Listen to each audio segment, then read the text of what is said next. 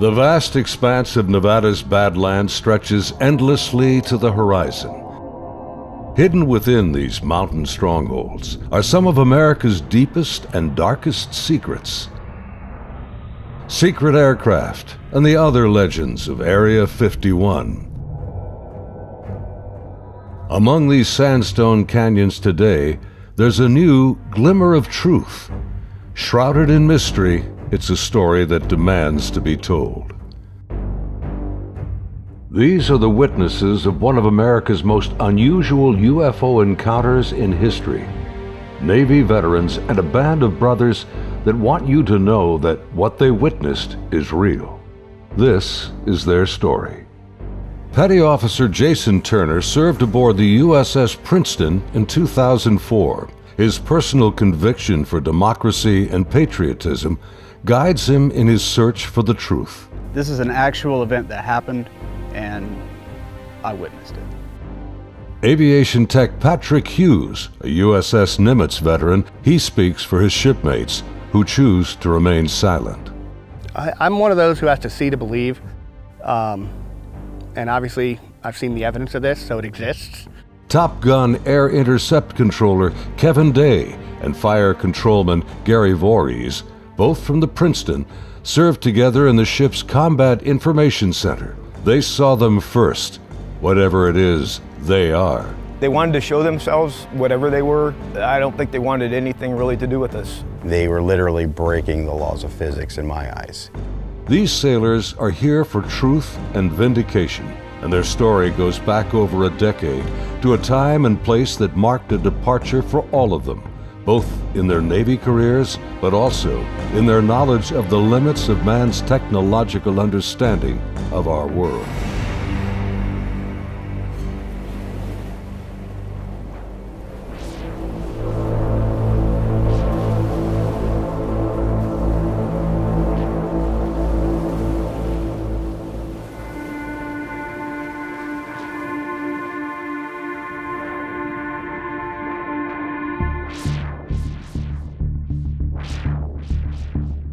Looking out over the ocean toward the horizon, sun, sea, and sky form an endless vista, a never ending cycle of tide, wind, and waves.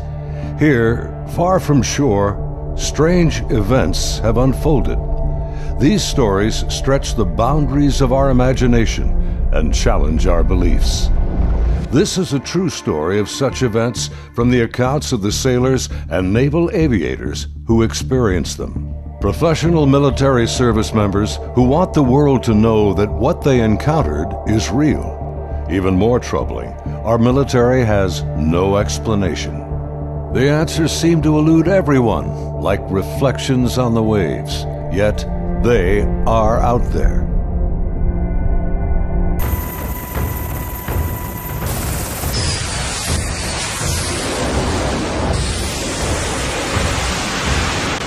November 10, 2004. 90 miles southwest of San Diego, California, in the Naval Operations Area, the Nimitz Carrier Strike Group and her complement of warships and the aircraft of Air Wing 11 are conducting a routine two-week training exercise. Nearby, the guided missile cruiser USS Princeton has been tracking unknown aircraft that appear and disappear from her sophisticated Aegis radar screens. The Spy 1 Bravo radar is one of the most advanced sensors ever deployed. Princeton's main role is air defense of the strike group, and Operations Specialist Senior Chief Day is in charge of protecting the airspace around the Nimitz. And my job was to man the radars and ID everything that flew in the skies. And I also um, sat a position called Anti-Air Warfare Coordinator, where if we ever had to go to war, I was the guy that was going to launch the missiles and kill shit. Um, in addition to that, I was the Air Intercept Controller. When the Super Hornets take off the carrier, I'm the guy that takes control and takes them to the fight and gets them home safe. And there was a lot of experience in that room. The captain had 28 years, I had 18 years. And the Aegis ship is um, our newest uh, weapons system afloat. It's got the Spy 1 radar system, the phased array radar system, and I was an, an expert on that. Inside the Combat Information Center, Chief Day's attention is focused on a group of unknown aircraft on the Spy 1 screen. He's trying to identify them. I was on watch, and we were probably 100 miles, I forget how far exactly that day we were, off the coast of San Diego southwest, um, kind of off the coast of Mexico, Baja. And I started to notice um, these weird tracks that were popping onto my radar coverage right about on San Clemente Island. And the reason why I say they were weird, because they were appearing in groups of five to 10 at a time, and they were pretty closely spaced to each other. And they were 28,000 feet going 100 knots tracking south. And in the back of my mind, I'm thinking, you know, that's kind of odd. I mean, what? I don't know anything that flies like that. They weren't on the com air routes, the commercial air, airline routes. Um, I wasn't really that concerned about them. I didn't consider them hostile for any any reason at all. Another watch or two, as I'm watching, the same formation appeared again. And over the course of uh, three, four days, it probably counted up to that point, um, groups of five to 10 at a time. There were probably 50, 60 tracks by then. Today, Kevin and Gary are still looking for answers. They've known each other for over a decade since their Navy days. Gary was a third class petty officer and fire controlman back then. I worked on the Aegis computer system uh, on a CG 59 uh, guided missile cruiser, the USS Princeton. I'm in charge of uh, CEC and uh, data recording and maintaining and operating all the mainframes that run the system. They're both becoming increasingly frustrated in their attempts to ID the strange aerial objects, which have no transponders and fit no known flight profiles. The guys that work on the Spy 1 Bravo radar, they, they had come across and said they needed to take the system down for recalibration because they were getting uh, clutter uh, or ghost tracks and they needed to recalibrate to get rid of them. Then once they did finish all that recalibration, bring it back up, uh, the tracks didn't disappear. Uh, they were still there, but they were actually sharper and clearer. They were doing uh, diagnostic tests on everything we had to make sure it was not a system malfunction. And it turned out that it wasn't. These were actually real objects um, I had the, spy, the highest spy track quality possible on these, on these contacts. In this situation, I actually started recording on all four tapes at the same time. That way it was a one continuous loop and I was just replacing them as they were, you know, becoming full. We failed utterly to identify these things. It, it, it didn't um, meet any of the parameters for anything that was known. In some cases, they seemed to descend from space and then suddenly plunge to near sea level in seconds. Coupled with the unidentified nature of the craft and lack of clearance, these extreme flight observations are very troubling to the crew assigned to protect the carrier group from aerial threats. Sunday, November 14th, morning. The Nimitz deck crew is busy launching FA-18F Super Hornets, helicopters, and E-2 Hawkeye early warning planes. The mission? Simulated air defense or ADEX training over the Pacific. The winds are calm, the skies are clear, a near perfect day for flying.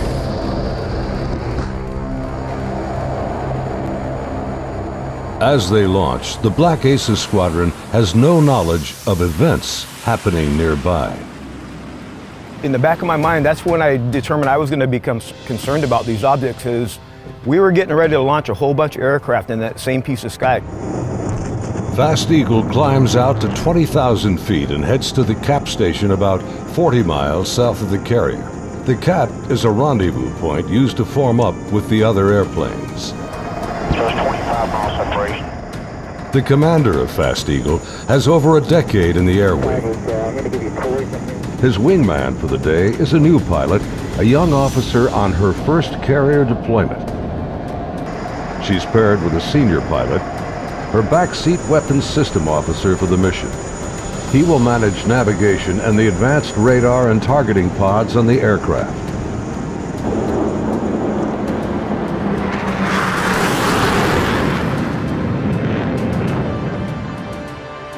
Overhead, an E-2 Hawkeye from the Wallbanger Squadron is on station directing the aircraft. Banger provides eye-in-the-sky command and control during carrier flight operations. Back in the Combat Information Center on Princeton, the mysterious objects are back. And today is the first time Senior Chief Day has jets in the air that can intercept the mysterious aircraft. Seeing these contacts, um, Captain Smith orders me to intercept one of them. So I just I, I went back to the console. I picked the closest one that was to us, and I was gonna I was, had intended to let the Hawkeye do the intercept because they already had control. It was just easier. They briefs the captain, and they agree to send the Hornets. The air intercept controller aboard Princeton, call sign Charlie, radios the Hawkeye and takes control of Fast Eagle. Banger, Charlie. Charlie's a banger, good. Banger, Charlie. Do you hold unknown air contact, bra, 270, 28,000 feet, bogey. Charlie, banger, negative. Radar picture is clean. The E-2 radar operators have been frustrated in their attempts to get a radar return on the unknown aerial target that Princeton is tracking. Even with their 24-foot radar dish, they can't get a lock on the object. Banger, Charlie. Transfer Fast Eagle flight to Charlie Control, button 1-3. We have a real world tasking for them. Charlie, banger, roger. Fast Eagle, Charlie, stand by for real world tasking. Charlie, Fast Eagle, send it. We vector mo- towards that position in the sky and real quiet on the radio. We're, I'm just giving them um, bra calls, which is bearing range altitude, to these unknown bogey group. And basically, I'm just telling the, their crew where the object is, the, the bearing from them, and the range from them, and the altitude, so they can drive towards it. Contact bra 270 41 20,000 feet bogey snap 270 over Roger, bearing 270, 41 miles. 100, go trail. One zero zero. Say state. State twelve thousand pounds. Clean. Do you have it? I'm trying to get a track on it now. They sent link 16, but my radar picture is clean. The next radio call takes everyone by surprise. Fast Eagle 110, say loadout. 110, what's your weapons loadout? Yeah, the tactical action officer, the TAO, um, jumps on the radio. Her name was Lieutenant Elders, and she just point blank asked the Fast Eagle flight if they were carrying any type of weapons. And fa- there was a stunned pause on the radio. Wings clean, Princeton. We just have CAT-M training missiles, and they're not coming off the rail. We're in an exercise environment, and the last thing we wanted to do is start shooting stuff. Now the controllers have the pilot's undivided attention. Normally, the squadron doesn't carry live ordnance when training. What do you guys think that was about? What, about the loadout? I have no idea. Maybe it's drug runners or something. Yeah, it could be. Or a lost Cessna out of SoCal. I don't like this. Fast Eagle Charlie, contact bra 16034. 8,000 feet bogey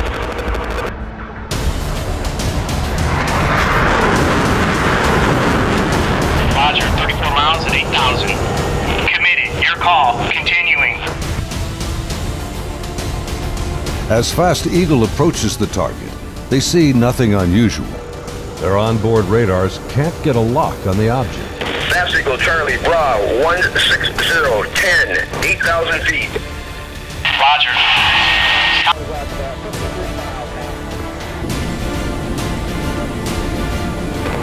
Fast Eagle Charlie merge plot And basically, what the merge plot means on the radar, you got two objects in the same vertical piece of sky. So when I'm looking at the 2D display, it looks like a one one radar blob now.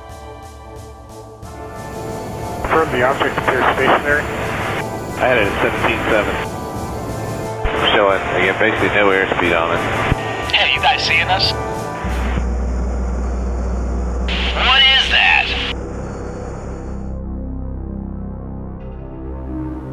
As the Super Hornets approach the target, they see a disturbance on the ocean surface. It's about the size of a 737, and it looks like something could be just below the surface. 100, anchor here, Angels 2-4. Roger.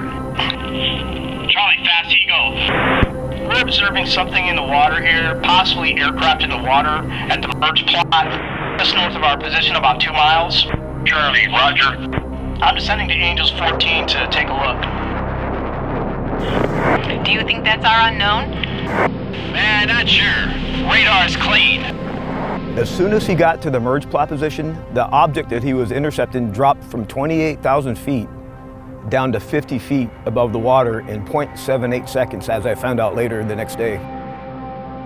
As the Super Hornets get closer to the ocean disturbance, he suddenly spots another craft above it, a much smaller white object with an oblong shape, hovering, then darting just above the waves.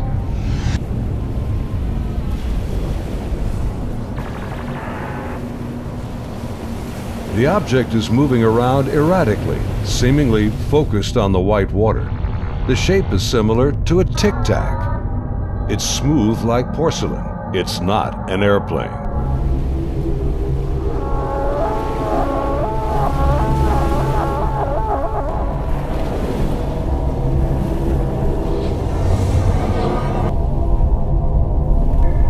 Suddenly, the object begins to rise into the air.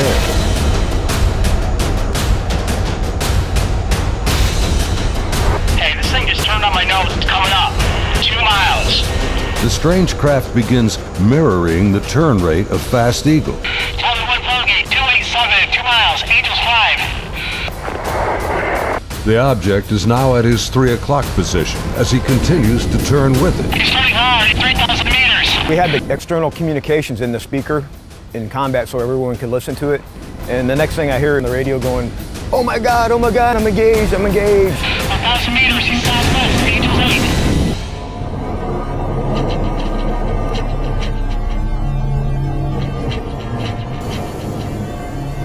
The commander is now about a mile away as he maneuvers his Hornet to get behind the unknown craft.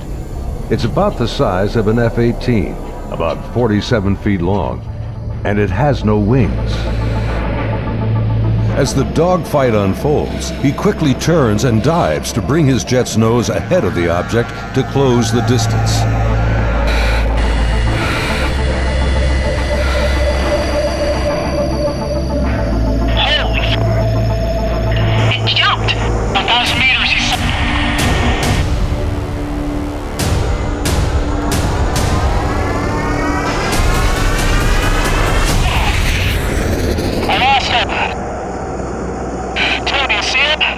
Suddenly, the Tic Tac rockets past. It's gone beyond the horizon in the blink of an eye. I saw it go 137. No tally.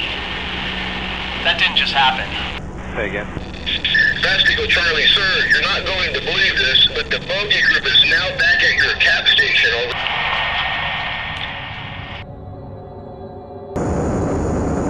As Fast Eagle returns to the area of the ocean disturbance, the object is gone and the sea is once again calm. Soon, they land on the ship.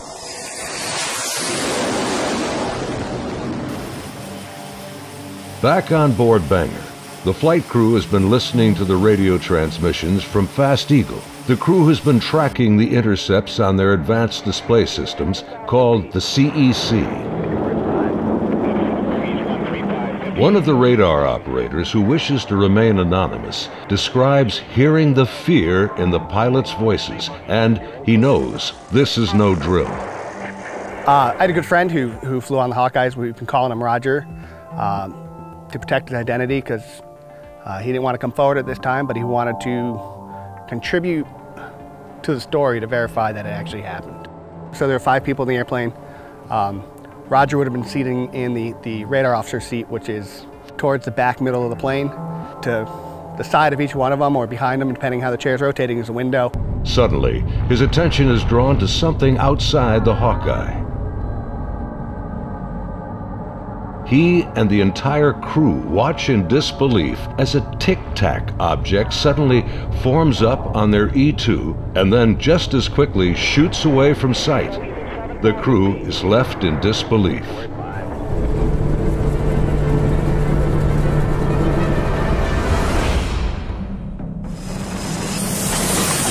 As Banger returns to the ship, the crew is shaken. The highly unusual events are troubling, but what happens next has haunted them to this day.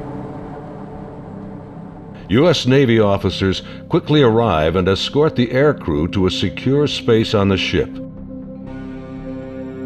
As the crewmen begin to take off their flight gear, an officer begins the debriefing by telling them this event did not happen. And they are given non disclosure agreements to sign. They are warned to never discuss this event again. Again, we're preparing for the air defense exercise. So now we got all the squadrons launching off the carrier because they're all up going to do their functional check flights. Senior Chief Day watched in disbelief as the Tic Tac UFOs reacted to the incoming fighter jets. All the objects in the sky, they all dropped out of the sky from 28,000 feet down to 50 feet.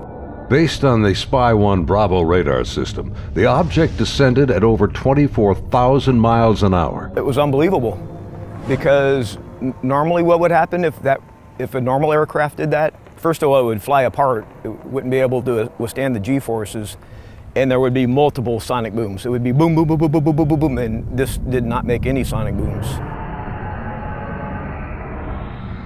From what I observed, uh, I, I saw that it went from, you know, right around between 25 and 30,000 feet down to sea level and below sea level. Contact, tag number 042. Below sea level uh, was confirmed to me by the actual sonar techs that were in combat, uh, in communications with other techs uh, that had said they had an active track on it under the water.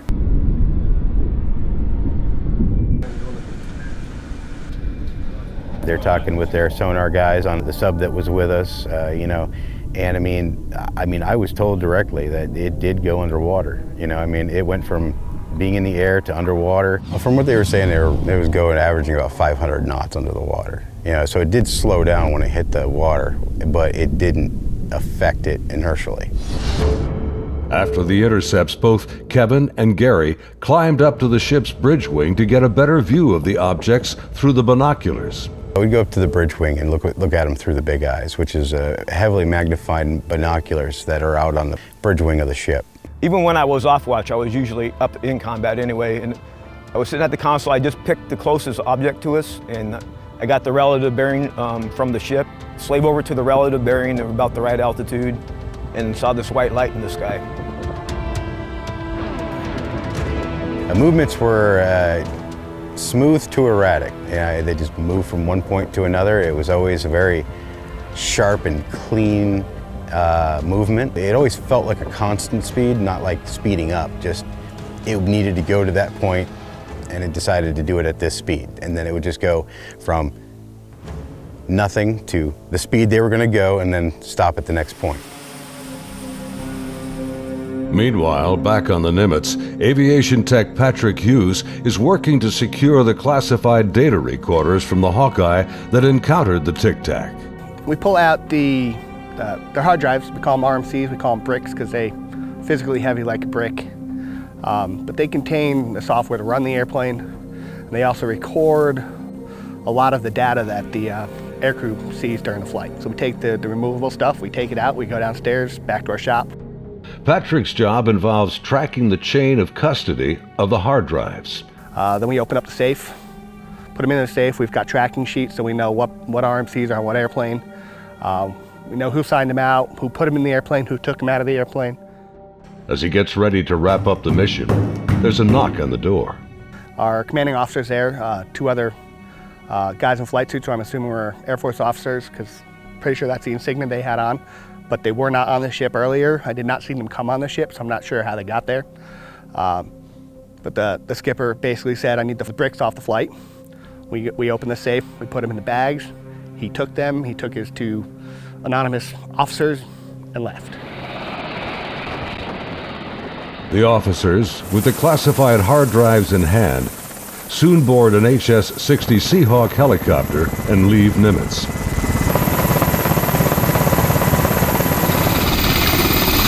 Soon thereafter, Petty Officer Voorhees has his own visit by unknown officials on the Princeton. Once they landed and everybody got off, got off, uh, then about you know maybe 20 minutes later, I got called in to have all my data recording tapes turned over, and then uh, also told that I needed to reload CEC because it had been wiped. So it was. Uh, so I, I turned over all the tapes, and then they also said if there's any even blank tapes to erase anything else that's in the shop. Well, they were plainclothes people that came aboard on the helicopter. Um, it was my chain of command that took that took control of the tapes from me. The Hilo left with them after that, so because we went right back to flight ops. The link between the Tic Tacs and these men is unknown. How they became aware of the UFO encounters and how they arrived so quickly on board after the event is also a mystery. The video you are now watching is the actual gun camera FLIR footage of the Tic Tac taken by a later flight. This is the first video ever released by the U.S. government showing military planes engaging UFOs. The advanced targeting pod, known as ATFLIR, works in both TV mode and infrared mode. The film reveals no control surfaces, no exhaust plume, a uniform heat signature, and no visible means of propulsion. Gary and his shipmates saw the FLIR film on their consoles and on the secret LAN aboard the Princeton. It was a much clearer video. You could see the shape of the ship. You could see it, you know, moving. You know, I tried to go and get a disc to come make a copy of it, and by the time I got back, it was already off of our hard drive, uh, off the secret LAN yeah, no access to it whatsoever. Petty Officer Jason Turner also saw a much higher resolution version of the FLIR film showing strange appendages extending from the object. But it did have some protruding at the bottom of it. I couldn't tell if they were curled back or straight down. Jason says the video was approximately 10 minutes in length and much longer than the video that has been released. I saw this video playing and I'd ask him, is this what we're training or what's part of this training that we're going through and he said no this is real life. And um, when I saw it it was a very clear image a very clear video and this thing was going berserk like making turns like it's incredible the amount of g-forces that it would put on a human that this thing was was doing. The the jets were like trying to trail this thing and it would just run off and leave them. It would just poof, gone. And then it would come back and then you would see it. And then it, I mean, it was, it made a, a maneuver. Like they were chasing it straight on. It was going with them. This thing stopped, turned and just pew, gone. I mean, it, that's the only way to describe what it looked like. Dude, this is a fucking drone, bro. There's a whole fleet of them. Look on the ASA my gosh. Just 11 years later, fighter jets from USS Roosevelt filmed this anomalous object in 2015. Well, if there's, that thing. It's rotating. Like the Nimitz encounter, they too were conducting routine training when fleets of UFOs were encountered by the pilots. The Nimitz encounters remained cloaked secrecy for over 13 years. The first-hand testimony about UFO sightings is practically unheard of from military service members. Thanks to the brave and honest accounts of the sailors and naval aviators who have come forward to relate their experiences, and of the remarkable videos they filmed that day, the silence has been broken. I dealt with this all on my own for many, many years, um, and it was not a very pleasant journey to go through because um, no one really believes you.